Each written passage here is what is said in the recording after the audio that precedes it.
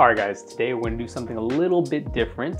We are gonna go through my paddle journey, what I played with from when I first started playing pickleball till now. I'm also just kind of give you a quick kind of rundown of each of these paddles, like what I thought about them, kind of the reasonings of why I picked up the paddle and ultimately decided to either keep playing with it or put it down for something else. Links and codes for these paddles will either flash on the screen or you can find them in the description below. All right, let's get started. So I started playing pickleball more seriously back in early 2020, maybe late 2019, right around the pandemic, like many of you, where pickleball just kind of exploded. So the first thing that I picked up was a set from Pickleball Central. And in this set, I got four of these Kanga paddles with a net. And I literally just kept that in the back of my car. And everywhere that I went, I just wanted to tape up lines or go to a parking lot and just play with my friends if there wasn't a court available. I legit played with this like for a good couple months. You know, had the little strap you know, on my wrist. I'm not gonna lie, I kinda got made fun of.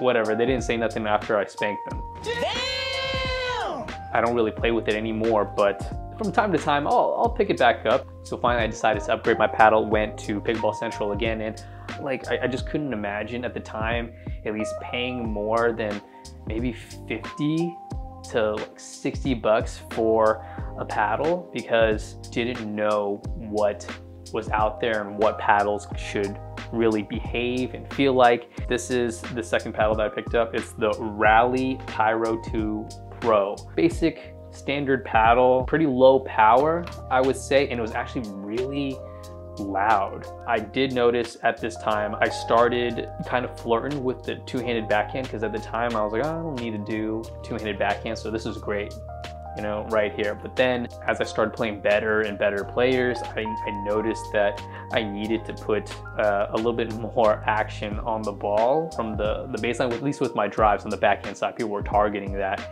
And so I found myself choking up on it a bit. And I was like, okay, now I kind of need a little bit more power. And this is when I started really playing with some of the other brands. I started going to actual facilities and demo some of their paddles. And one of the first paddles that I picked up that I was just like enamored with was this one right here, the Engage Encore MX 60. This is low key for me a goaded paddle. This is the paddle that really just took me places. Fiberglass face, elongated handle, there's a little bit of texture on this. I could really get some spin on the ball. And till this day, I still like this paddle a lot. I think I went to my first tournament with this paddle. I signed up for 4.0 I got gold with this paddle right here. It was an indoor tournament. This paddle served me really well. My issues with this paddle was really the quality control. The edge guard, you know, it would come loose and honestly, you know, Engage has a lifetime warranty on these things. I did have to send it in and get a new one a few times. Really not a big deal. That process was pretty easy. I don't know, I was just kind of sick and tired of that. So I wanted a better paddle, at least in terms of quality control. So that's kind of what led me to my next paddle, which is the Selkirk Invicta Amped. And I also got the Invicta Vanguard 1.0. I was demoing both of them to see which one I liked better. It came down to the amp. The amp just felt like it had more power. The colors were pretty dope. I'm all about this Electrify version right here. And they also had a lifetime warranty as well. And of course, it's Selkirk. Like you don't think about pickleball without thinking about Selkirk. This paddle too also took me places. I went to my first big tournaments. 2021, I went to the Texas Open 2021, played 4-0, got gold in singles, and then also played 4-0 doubles and silvered in that with this paddle. I will say though that I, I really didn't have any issues with this paddle. I really did enjoy it. I probably would have stuck with it, but as I was improving and now I started using two hands with my dinking and with my resets as well, I kind of wish I had more real estate in the handle department. So I started looking for other options that had longer handles. And at the time, my buddy Donko who I played singles with a lot. He played with Vulcan at the time. And then he got this paddle right here, which is the Vulcan V560 Power. And I really enjoyed this paddle a lot. This is like my first power paddle, I would say. I've tried some other thin core paddles before. I think this is 13.5, maybe 14, can't quite remember. I got this paddle, I just like the way that it tapers up here and it was just really comfortable for the two-handed backhand. And there was some weight to this paddle as well. I was hitting balls and speed ups just better than I've ever had in my pickleball career at the time. But right around this time is when I got tennis elbow. Like I played tennis for 18 plus years, 4.0 to 4.5, played USTA. I played with a heavy racket too. Wilson 6-1 tour. Never ever had an issue with my elbow or shoulder or anything like that. But as soon as I switched to this paddle right here, I got tennis elbow. And I think part of the reason is because I was still kind of learning the game and trying things out and I was being really like risky and trying to be fast going through and then stopping all of a sudden. I really just didn't have my technique down. So basically that sidelined me for a bit, two, three months. And finally, when I got back into the swing of things and my elbow healed up, I was like, hmm, should I go back to this one? I don't know. But ultimately, I was still weary of my elbow issues. So I started looking for another option. And at the time, this is when, you know, CRBN was starting to get into the mix of things and starting to become a hot paddle. So I did flirt with the CRBN 116 for a little bit and I did enjoy that paddle. But ultimately, I actually went back to good old faithful, the Engage Encore MX 6.0. I went back to it because I played with this for a while and I found success with it and I never had elbow issues with this paddle right here. In fact, I played with it up until February 2022. I went to the PPA Foot Solutions in Arizona. I moved up, played four or five singles, and I golded with this paddle right here. But as I kept on playing with this, same issues arose, problems with the edge guard, the handle was a little off, like the wood or the piece they used to put on top of the handle. It was not aligned perfectly, so it felt awkward in my hand. And of course, around this time, all the companies are now starting to experiment with raw carbon fiber paddles. I really wanted a raw carbon fiber paddle. It was all the rage. Engage came out with their Pursuit series, which I did try. This is the Pursuit Ultra, um, but I did have the regular Pursuit as well. And honestly, between the two, I I thought I would really like the Pursuit, but I always went back to the Encore. I think it just had more pop and the feedback just felt more crisp and I felt like this was the better value and the better deal. And at the time, I really wasn't reviewing paddles. Companies weren't sending me paddles, so you know I had to spend my own money on these paddles and I just felt like it was not worth it to spend 200 at the time for a Pursuit. So I stuck with the Engage Encore MX 6.0 because I was just kind of annoyed with the quality control, with the Engage Encores, albeit I still love this paddle like to death. I wanted something also heavier and I've started experimenting with weight on my paddle and I just wanted like a better shaped handle and grip. This led me to the Diadem Warrior. Now, I heard some great things about the Warrior at the time. I felt like it was different and it, I mean, it just looked cool. I think out of all the paddles at the time, like this was the best looking paddle. I still think it, it's a great looking paddle. And with the Warrior, I know it wasn't perfect coming out of the gate. They had some quality control issues of their own. They said that they fixed it. I did get my hands on a few. What I really like about the Warrior is the handle and the handle shape. I felt like the circumference was like the right amount of girth like for me and the shape of it was really good. It was definitely a step up from the Engage and also the weight. The weight was around for eight five. They just always came out of the box consistent. I really valued the consistency at the time with the Diadem Warrior. And I played with the Diadem Warrior for about a couple months leading up to maybe from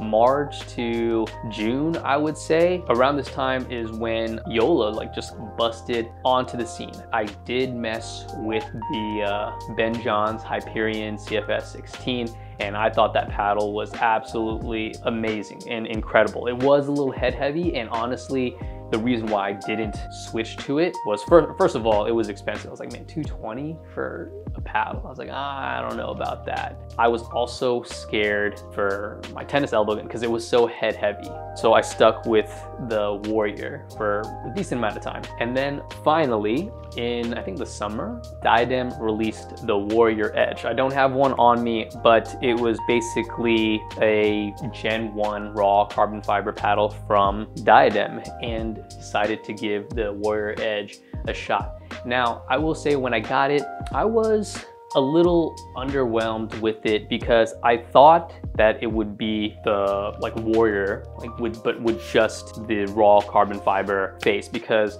I switched away from the warrior as well because the grit would wear off. I went with the warrior edge hoping that the grit, you know, because it's raw carbon fiber would stick a little bit longer, which it did, but the paddle was fairly light. It was one of those paddles that I had to play with a lot more to really enjoy it and like it. And I did. Honestly, I felt with that paddle, I could not miss with that paddle, but it did lack power. And this is the time when I was hovering between 4.5 and like 5.0. I was starting to play up a little bit more. And as soon as I started playing up a little bit more, I was like, man, I need put away power. I could not put away balls to save my life. I didn't know if that was partly me or the paddle. It could also just be that my opponents are also just way better now. And they're now just getting every single ball back. And around this time, I was also flirting with some of the Gruvn paddles as well. This is, it wasn't this one, this is the Gruvn Raw 16S, but I was playing with the 16H, which is their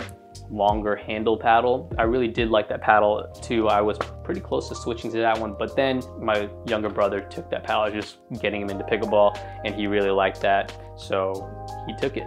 Around this time, this was like August, September, maybe beginning of October of 2022, I came back from three, almost basically three tournaments back to back. It was like a local tournament, and then I went to Atlanta APP, and then I went to PPA Atlanta, played 5-0. I wasn't feeling confident with my paddle, with myself. I just felt like I couldn't put balls away. So I went from a very soft paddle in the Warrior Edge, and I went with the Selkirk Invicta Power Air. Exact opposite of the Warrior Edge. This was one of the highest spinning paddles at the time. It had a lot of power. I used this paddle at the first minor league pickleball I played for the Florida Smash. It's a good time. This thing is a beast when it comes to driving the ball, essentially, and it was really good for my singles game. However, my doubles game did suffer all that work I put into like learning how to dink and reset, you know, just drop volley and all the touch game was pretty much lost with this paddle. I could not play doubles with this paddle to save my life. And this is around the time I started doing paddle reviews. And then this was actually my second. And then around this time, I started reaching out to more brands, more companies, some of them with semi paddles, thankfully, because I had a relationship with Chris Olson from the Pickleball Studio. Shout outs to Chris. The next paddle that I got, I really liked and actually switched to, it is the Hyperion 14 millimeter CFS. This is essentially uh, Ben John's paddle, but in a 14 millimeter variant. It was a little bit more poppy, but it still felt controllable. It wasn't as head heavy as the 16 millimeter version. So this was kind of like an in between. I didn't feel like it was as powerful as the, the power air, but I could dink and I could reset with it. I played really good with this paddle. I did add a little bit of weight here and here on the sides just to add some stability to the paddle. paddle. In my review of this paddle, I told people that it's a really good paddle, but you probably shouldn't buy it. And the reason was because the Solaire existed for what, 40 bucks less. And it's essentially the same paddle with a slightly different shape. It just is a little bit wider and a little less long. Obviously, price is a big factor in my decision at the time when picking a paddle. And around this time, late 2022, this is when you started hearing about all these new manufacturers or, or new brands and companies getting into the space. And one of the first new companies and new paddles that I tried was this guy, the Legacy Pro. I reviewed this paddle very, very highly and one of the first thermoform paddles that I played with. It just felt different at the time and that's why I reviewed it so highly. I really like this paddle. Obviously I haven't played with it anymore because mine's delaminated. Um, you feel that crunch in it. Oh yeah, can you hear that? When I took it to PPA Arizona earlier this year, I just felt like something was off. And at the time, I didn't know what was going on. A lot of us didn't know what was going on. We didn't know what delamination was. These paddles were just getting hot and we're like, hey, what's going on? I ended up not playing with this paddle for the tournament. I guess some of the new legacies now, I feel like they play a little bit different than like when I first got it and I don't know if they changed something up with the composition of the paddle or maybe it's because they switch manufacturers or something else but I think the current legacy is still pretty good but it's not as powerful as I guess the old one I would say. I did bring a backup paddle. The backup paddle that I did play with was the Vatic Pro. See the Vatic, well this isn't the Vatic, this is the Flash from Vatic but I played with the regular Vatic. That paddle has done well for me as well. I really enjoyed that paddle too. After Legacy Pro, played with the Vatic Pro for a bit. That was a good paddle. I was testing it out. And I was also testing out the new CRBN 1X14 and the 1X16. These paddles right here are ridiculous. So when I got the 1X 14 and 16, I instantly gravitated towards them. They have the longer handle, their thermoform got great spin. And uh, yeah, this was the new paddle of a choice at the time. I stuck with the 14 because I was still on the search for power, like more and more power, addicted to power, even though I didn't have the skills to tame that power. The CRBN 1X14 was the paddle of a choice for a while. Played amazing singles with it and doubles, I could play doubles with it, but I had to be focused. If I wasn't focused, especially if you're playing with the Dura, like this thing would pop up and I would just get smoked. And that is one of the reasons why I started putting down the CRBN 1X 14. And I was about to go back to the 1X16. I didn't have one on me. I actually lent that 1X16 to my buddy Donko and he loved it. So I told him that he could have it and he could play with it. So I was stuck with the 1X14. And now around this time, as you know, uh, I've been doing a lot more paddle reviews and getting more paddles.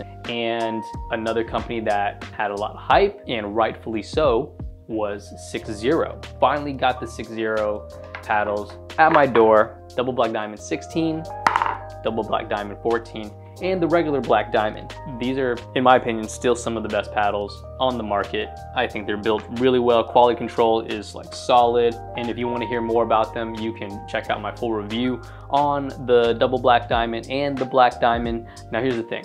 As much as I liked the 6-0 paddles, they're not fully elongated, right? There's, there's a little bit of a difference that extra couple millimeters up here is just in my head. Maybe it affected the swing weight, but it did feel different. And I don't know, I just couldn't bring myself to switching to them or committing to them. Even though I tried, I was flirting with the idea of using the Black Diamond, which I think is one of the most powerful paddles on the market right now and still is for singles.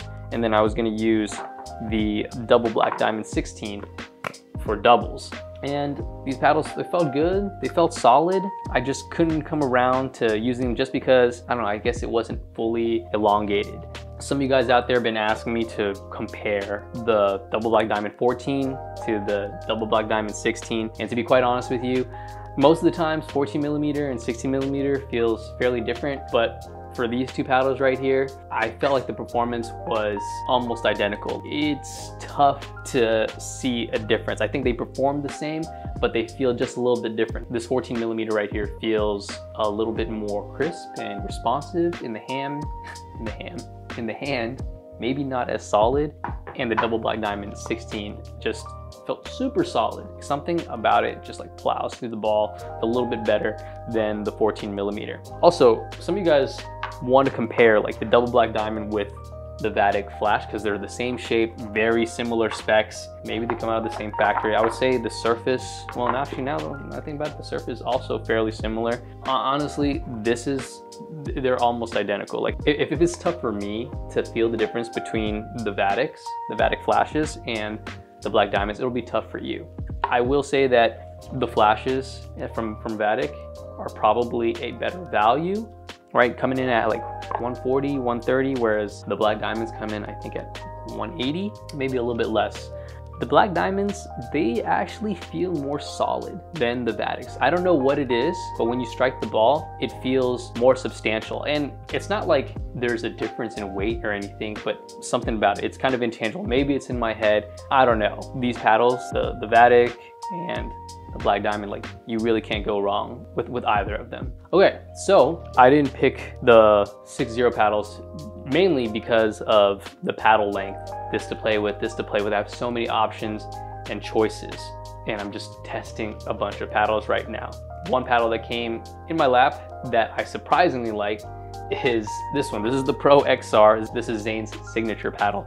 It's just the way that it tapers. This shape right here is my preferred shape for a paddle. Technically, like the handle is not that much longer than let's say, let me, I don't know, let's pull out the carbon. Yeah, it's it's actually like the same length, but I think it's just the way that the paddle face tapers. It just feels more comfortable for a two-handed backhand. The swing weight isn't nearly as high. This paddle is 14 millimeter. And you know what? Now that I think about it, it is essentially a Hyperion 14 millimeter. Very similar specs, if not similar technology. They got foam injected into the core. I do like it. And honestly, if it wasn't so ugly, I would have considered switching to this paddle. Okay, now I'm gonna give an honorable mention to another paddle that I really enjoyed that was sent to me. This surprised me. This is a paddle by 11A, 11N, 11? This is the Zenith C8. They also come in another shape called the C7, which is elongated with a shorter handle. This is, I was told it's a thermoform paddle. It has this interesting pattern texture, very reminiscent of the carbon fiber face you'd find on Gearbox, but there's a little bit of texture on it. I didn't know what to expect from this pad, but I think this is a really good control pad, especially for like a hundred bucks. This was solid. All right. And then this leads me to, I guess, currently my two most favorite paddles. My second favorite paddle is bread and butter Filth. I currently don't have one on me right now. All my friends are borrowing it, uh, but I think that paddle looks awesome. And for like 165, I think is what it's going for. I think it's a really good value and it plays really well. It is essentially a lighter CRBN 1X 16 in my opinion. And right above Bread and Butter Filth is my current favorite paddle. Not by much, but it's my current favorite paddle. And that is the Ronbus R3 Pulsar. This thing is, to me, amazing. It is like right in my wheelhouse. It's elongated, has a longer handle. The weight is around 8.2, 8.3 comes in stock. I really don't have to weight it up that much. I usually like paddles around the 8.3 to 8.5 range. And it is just like the right balance. It's also a little bit softer for like the thermoform paddles. I think it plays a little bit softer than like, let's say like CRBN and 6.0 and Vatic. You know, you're not lacking in power. Like if you really want to put away a ball with this, it has the weight and the balance to really swing and you can really put away balls with this paddle. And I also think I get the most amount of spin with this paddle versus any other paddle that I've play tested or played. And also I haven't heard any issues with the Ronbus paddles and the Pulsar with delamination or disbonding or anything like that. So that just gives me a little peace of mind, you know? All right, so that's it for this video. Hope you guys enjoyed it. Don't forget to like, subscribe, and comment with what paddles you are playing with now. Currently, links and codes are in the description below to help you save a little money on some of these paddles. Full disclosure, I may get a kickback if you decide to use my codes down below at no additional cost to you. All right, till next time, play better. I'm out.